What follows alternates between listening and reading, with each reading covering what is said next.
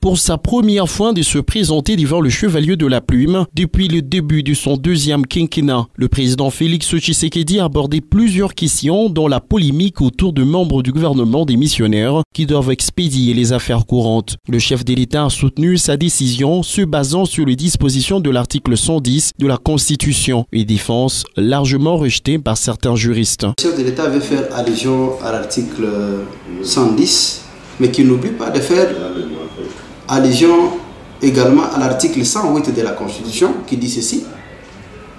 Le mandat de député national est incompatible avec le mandat de sénateur et vice-versa. Il reconnaît les pertinences de l'article 108 de notre Constitution, mais il veut couvrir ça par un principe qui ne tient même pas, ni sur le plan des droits. C'est dommage et euh, on ne peut que dire euh, ou affirmer que nous sommes en train de revivre ce que nous avons vécu euh, au cours du premier mandat.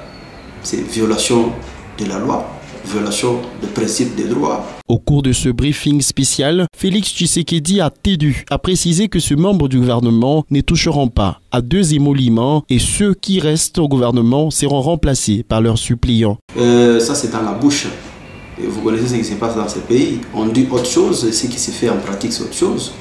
Il dit qu'ils n'auront pas leur émolument. Est-ce que c'est un texte qui doit faire foi Nous devons croire comme à l'église et dire Amen? Non. C'est comme on l'a toujours dit. Il dit ça publiquement pour euh, camoufler, pour euh, tromper la vigilance, mais au fond, ils ont leur émolument comme d'habitude et personne ne peut en contester. Selon maître Nancy Mento la problématique de l'incompatibilité a déjà été consommée lors du dépôt des candidatures où la CELI devait écarter certains dossiers liés à cette irrégularité.